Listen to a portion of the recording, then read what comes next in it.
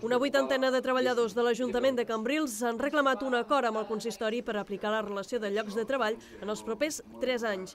Aquesta representació dels funcionaris locals s'ha concentrat a la sala de plens durant la celebració del que s'espera que sigui el darrer ple del mandat. Durant el matí d'aquest dijous, treballadors i representants del consistori s'han reunit per intentar arribar a un acord en aquesta qüestió.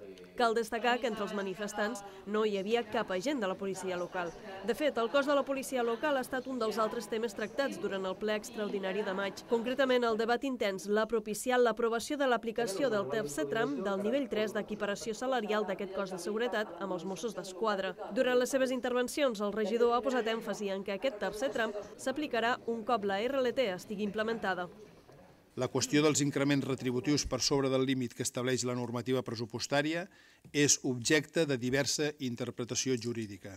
El mateix informe presenta pronunciaments contraris i d'altres que recolzen aquests increments. En tot cas, l'equip de govern té la responsabilitat de complir amb els acords assolits en el seu, amb el seu personal. I més quan aquests tenen la finalitat de l'adopció retributiva a les funcions concretes i singulars que desenvolupen.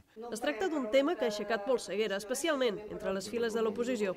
És que la proposta retributiva es fa al marge de la relació de llocs de treball i representa un increment superior el registrat a la pròpia RLT per a aquest col·lectiu i entra en contradicció eh, amb les previsions establertes als pressupostos generals de l'Estat. Ustedes estaban negociando paralelamente a la RLT el incremento de la policía local. Y esta forma de gestionar la equiparación ha sido lo que ha puesto, insisto, lo que ha puesto en riesgo esa equiparación. Finalment, la mesura ha acabat veient la llum verda amb 14 vots favorables i 7 abstencions. Paral·lelament, en aquest darrer ple extraordinari, l'equip de govern ha aprofitat per aprovar la subvenció directa o ajudes econòmiques a 12 entitats culturals. Una situació que no ha passat per alt de l'oposició, que en critica l'actitud de fer la feina a correcuita. Per part del govern s'han excusat que les aportacions econòmiques s'han atorgat abans de l'estiu, període en què les entitats i associacions acostumen a tenir més despeses.